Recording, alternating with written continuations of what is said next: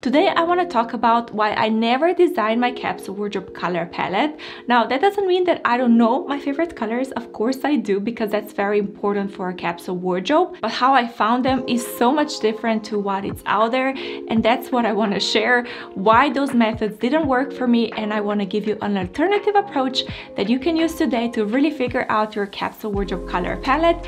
And this is how I figured out not only one color palette but four for each season. Five or even six years ago now, when I was building my first capsule wardrobe, I realized the importance of knowing your color palette.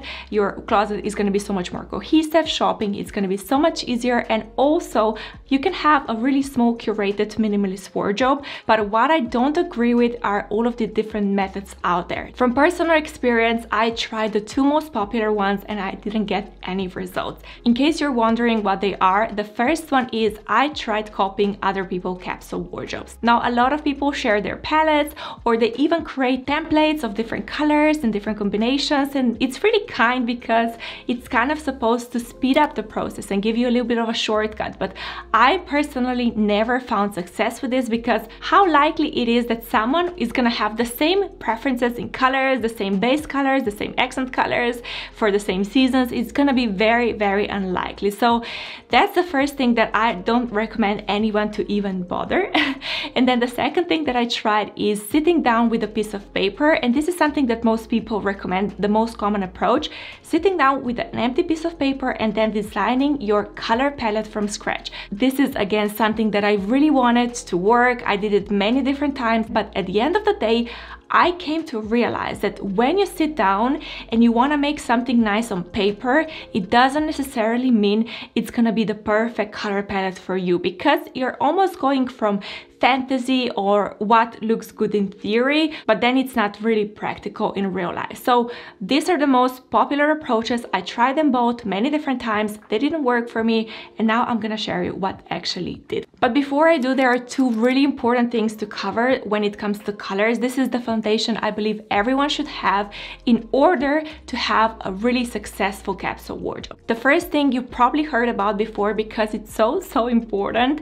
And I'm just gonna keep it brief today so don't worry, but I'm talking about undertones. In a nutshell, every skin tone and also every color, every item in your wardrobe everything has a different undertone. And the reason we have to understand this is because the colors with a similar undertone to our skin are gonna look best on us. So for example, if you have a little bit of a cooler skin tone, that means you have a little bit more blue hue in your skin and you appear a little bit more pinky and red. So in that situation, if you have something like a neutral color red, it's not gonna look the best. But if we add a little bit of blue to it, then it's gonna look a little bit cooler and it's gonna match your skin so much better. Or if we take a neutral color like white and we add again a little bit of blue in it, it's gonna be a crisp snow white color that is gonna look so much better on cool skin tone. But then if we go all the way to the other side and we have warm skin tone, that means there is a little bit more yellow in it and you just appear a little bit more golden. And in that situation, again, if we have a neutral color like red, we have to add a little bit of yellow to it and it's gonna be a little bit warmer and it's gonna suit us so much better. Or if we have a neutral white, again, we add the yellow and immediately you can see it has a lot more warmth. And then lastly, we can also be somewhere in the middle, neutral or even neutral leaning slightly cooler or slightly warmer, but you know, somewhere in the middle.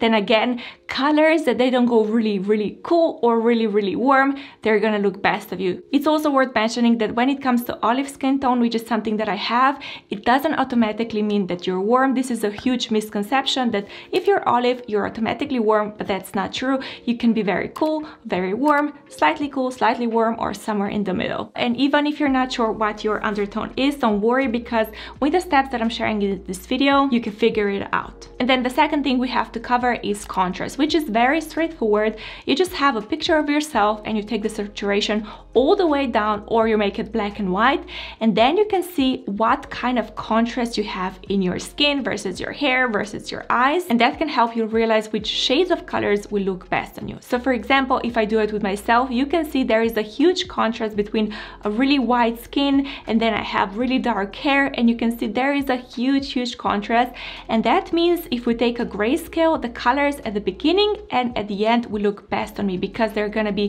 high contrast. But if I take my sister for example, her hair is a little bit lighter and her skin is a little bit deeper. She spends a lot more time outside.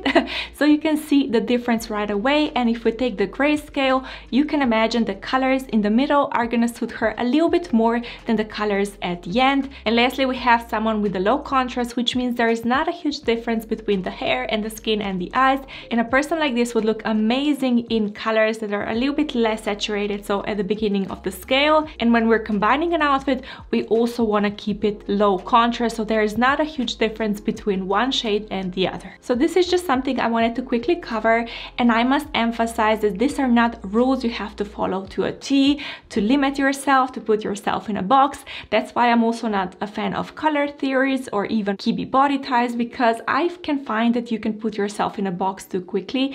But I still find that knowing rules and knowing what's out there and knowing what the contrast and undertone is, it's very important so you can really understand colors and which look best on you. But now as promised, let me share how I personally found my capsule wardrobe color palette. What I did in a nutshell is I decluttered my closet over and over and over and over again, decluttering entire color groups out of my wardrobe until I was only left with colors that I love.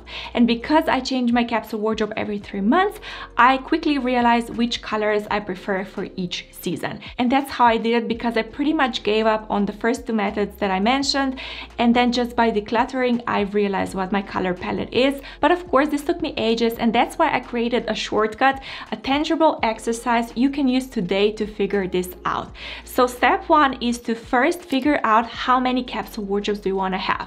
The reason this is important is because you want to know how many color palettes you need to figure out. So if you want to have a three month capsule wardrobe, that means you need to figure out four color palettes. Or if you want to have a six month capsule wardrobe, then of course you need only two. So once you know that, then step two is to pick one of the seasons that you want to have in your capsule wardrobe. And then for that season only, you go through your entire wardrobe, picking up only your favorite pieces for that season only. That's it. So if you pick, let's say, summer capsule wardrobe, then you go through your clothing items, outerwear, shoes, bags, accessories, everything that you have in your wardrobe, picking your absolute favorite pieces and putting them somewhere separately, maybe on the sofa or on the couch, or if you have an extra clothing rack, somewhere when you can see your favorite pieces separately. Now, if you have a lot of stuff, you can also give a limit to yourself to make this a little bit quicker and more enjoyable.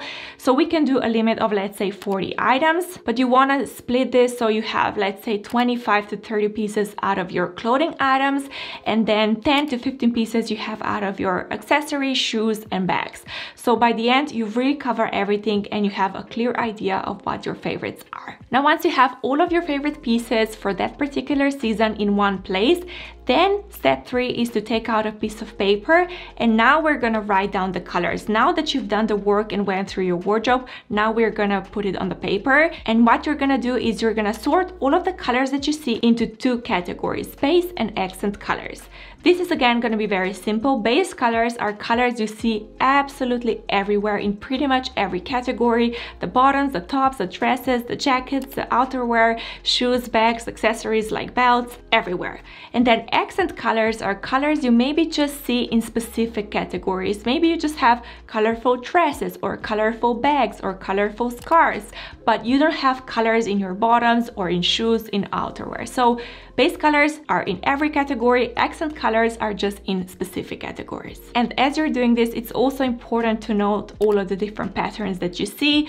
Again, you want to treat them as colors and sort them in either base or accent patterns. So if you see, let's say, florals just in your scarves and in your dresses, then this is a good indication that florals are your accent pattern, but maybe you see a pattern everywhere. Maybe you have stripes and you see them in outerwear, in your jackets, in your bottoms, in your tops, dresses, everywhere, then this would be your base pattern. And if you wanna be even more analytical, I'm gonna give you an extra step that you can do. This is optional, but I personally did this for myself and I found it very useful.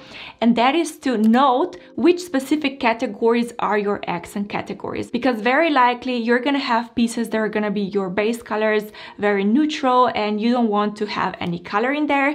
But then you're gonna have your favorite categories where you love to see colorful pieces and you wanna note down if bags are where you love your colors or your scarves. For me, example, I love colorful bags, colorful scarves, dresses, and tops. This is where I inject color in my wardrobe, but then my bottoms, my shoes, and my outerwear, and even my belts, everything is base colors, everything is neutral. And the reason this is important is because when you're shopping for colorful pieces, you can immediately know, oh yeah, I love orange, but orange pants are not gonna make a lot of sense, but I can buy something like an orange top and it's gonna be so much better. Now, if this is helpful and useful to you so far, I would really appreciate a thumbs up. And also, I think it's time we do another emoji. so for this video, I think it's appropriate we do a color palette. So if you come this far in the video, leave an emoji of a color palette down below so I can know. Thank you. okay, so now that you picked your favorite pieces for a particular season and you sorted them into base and accent colors and patterns, now we can go deeper and we can actually analyze the undertones and the contrast of these colors. And that's why I had to talk about contrast and undertones in the beginning because it's so important for this step. And that's because not all colors are created equal. For example, I always knew that I like a red color, even before I understood undertones. So that means when I was in the store and I saw something red, I thought I'm gonna love it, so I bought it.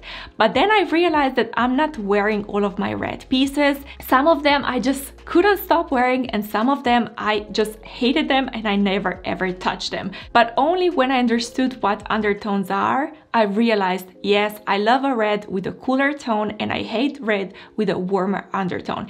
And that's why this is important. You don't want to have a capsule wardrobe color palette that is general like red and green and blue because that's not to tell you a lot. You want to know, I love a red with a cooler undertone because that's what you feel your best in. And remember when I said you don't necessarily have to figure out your skin undertone just by, you know, all of the different tests. That's because I believe we all instinctively wear colors that match us best. So if you see a pattern, maybe you see most of the colors in your color palette have a cooler undertone, that is very likely that you have a cool undertone. Or if you see a warmer colors, then of course you have a warm undertone. But if that doesn't convince you and you still wanna go figure out what your skin tone is, then of course go down the rabbit hole of undertones on YouTube and the blog. There is so much information out there. But for me personally, I instinctively knew and I really believe that most people do as well. And I just remember as I'm talking about this, my mom, for example, she always thought that she's a warm olive, but instinctively she's wearing gray and cooler purples and cooler navies, really cool toned colors. And then when we did the analysis, surprise, surprise, she was cool. So even her, she's not really into figuring this out. She instinctively knew she loves cooler colors. And then you also want to note down the contrast of the color or the saturation. So if you see, okay, you like really bright saturated colors, you want to write that down because if you like, let's say bright, cooler pink, that is so much different than having a warm pastel pink. They're completely different colors. For me, I look awful in warm pastel pink, but I can still pull off cooler pastel pink sometimes, but it's not a huge portion of my closet. That's why I'm so particular about noting down the undertones and the saturation or the contrast because you really want to know what your favorite favorite shades and colors and undertones are. And of course, I think I have to emphasize again, please don't think this is a prison that you always have to follow these rules or else it's your life, it's your closet. If you feel great in all variety of undertones and shades, then you do you. If you feel great, then no problem. But for me, and I think for most people, we kind of have our preferences for the brightness and the saturation and the undertone. So that's why I think this is so important. And lastly, what you wanna do is repeat this for every single season that you wanna have in your wardrobe. So if you've done this for the summer one, then you also wanna repeat the entire process for the fall, for the spring, and also for the winter because you're gonna see the colors are gonna be different. That's what happens for me. In winter, I have deep plum colors that I would never wear in summer. and then in the summer, I have navy that I would never wear in winter. So there can be a little differences between your color palettes and that's absolutely normal. As you get more tan, a little bit more fair in the winter, your contrast is also changing. So that's also the reason why your palette can change as well or just preference. When it's warm you feel like wearing different colors than when it's colder. So that's why i'm so passionate about this approach. So i really hope you enjoyed it. And if you did then also i know you're gonna love the video that i did on how to build a perfect capsule wardrobe from scratch. It's a fail-proof step-by-step guide similar to this one. So if you enjoyed it you can watch this one next. Thank you for watching today and i will see you next time